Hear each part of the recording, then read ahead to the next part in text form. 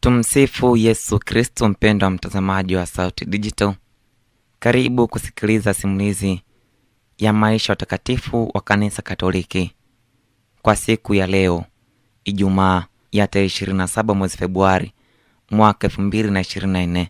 Kanisa Katoliki duniani kote linafanya kumbukizi ya Mtakatifu Leandri, askofu wa mwaka wa mia sita, lakini pia na Mtakatifu gabriel wa Umaria wa Mateso, mtawa wa mwaka 1862. Msimuliaji wako ni mimi bonifas Robert. Ungana nami kuanzia mwanzo kusikiliza simulizi ya maisha ya watakatifu wa Kanisa Katoliki.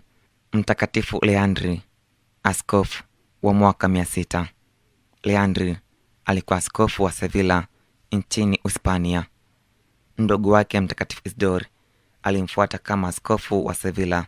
Dada yake alikuwa ameolewa na mfalume Leopold ambaye alikuwa mfuasi wa uzushi wa arios na aliofukuza wakatoliki Hata alimtesa mwanaye Hemegedi aliongoka na kushika dini ya Katoliki. Alimfunga gerezani na alimpeleka skofu mmoja wa mfuasi wa arios kumpa komunio, lakini Hemegedi alikataa kabisa kupokea komunio hiyo kutoka kwa mfuasi wa alios Hapo levgrd aliamuru askari wa mchinja mwanawe akiwa gerezani.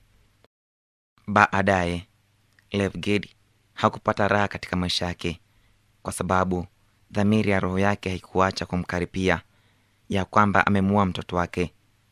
Alipokuwa karibu kuzimia roho yake, alimwita Leandri akamwomba mlee mwanawe rikaredo Leandri alikubali kwa kufuraha na punde sipunde askofu Leandri alifanya mtaguso katika mji wa Toledo nchini Hispania. Hapo wote waliwaapiza uzushi wa Arios. Kazi nyingine muhimu sana aliyoifanya Mtakatifu Leandri ilikuwa kuibadili liturujia ya Kispania kwa kufuata mfano wa makanisa ya Mashariki. Aliamua kanuni ya Nisea isemwe katika misa ili kupinga uzushi wa Arios. Makanisa mengine ya Magharibi yakafuata baadaye kanuni hiyo ya ibada, na mwisho wa Roma yenyewe ikafuata mfano huo. Mtakatifu Leandri alifariki Sevilla mnamo mwaka wa mia sita.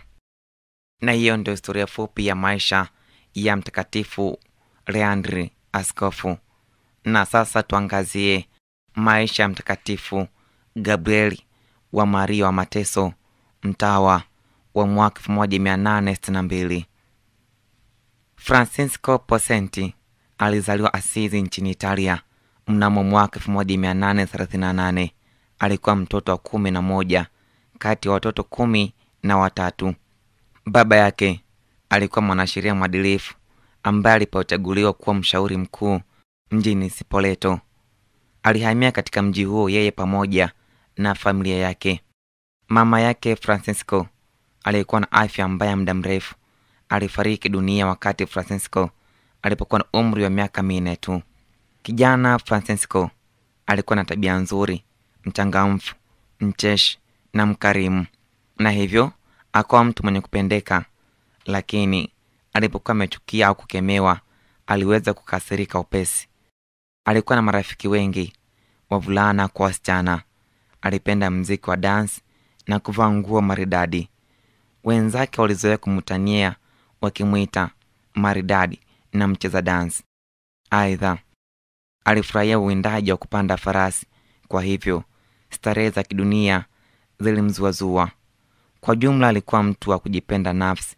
Shuleni alijitahidi kwa vile alivyojaliwa vipaji vingi, aliamdu vizuri masomo yake, hata akategemewa kuwa mtu maarufu baadaye. Lakini hakuna kati ya walimu na wanafunzi wenzake aliyekuwa na wazo kwamba angeweza kuwa mtawa au padri baadaye. Hata hivyo, dalili za wito zilionekana na Francisco alijishughulisha na mpango wa kujiunga na shirika la utawa kuliko walezi wake walivyojua.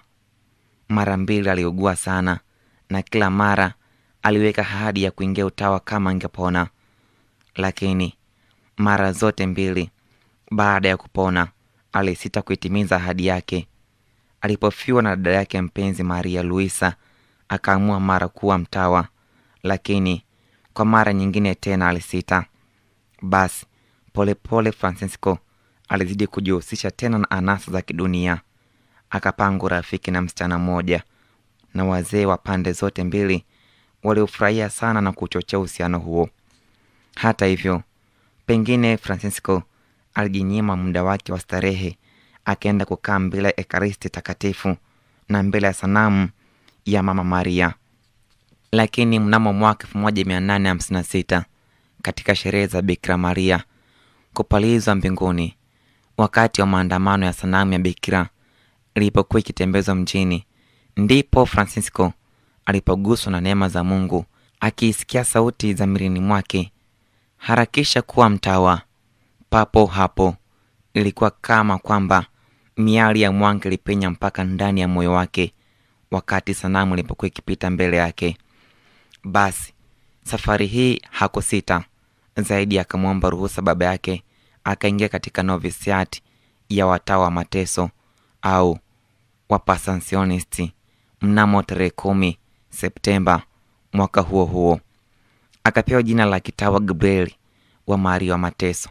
Baada ya kuweka naziri za kwanza, akasomea upadri, lakini kama hakupewa upadri, alipatwa na kifua kikuu na ugonjwa huo ulimdhoofisha sana.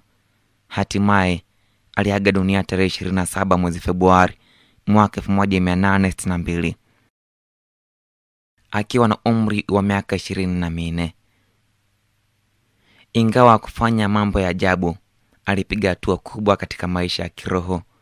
Aliyatafakari sana mateso ya Yesu na ya mama yake. Daima alikuwa mnyenyekevu na mtii. Aliwatumikia wenzake kwa kila namna. Uchangamfu wake ulikuwa furaha kwa wote. Maongezi yake yalimpendeza kila mtu. Alikuwa mpole na mnyofu, akichukia kila aina ya uongo na unafiki.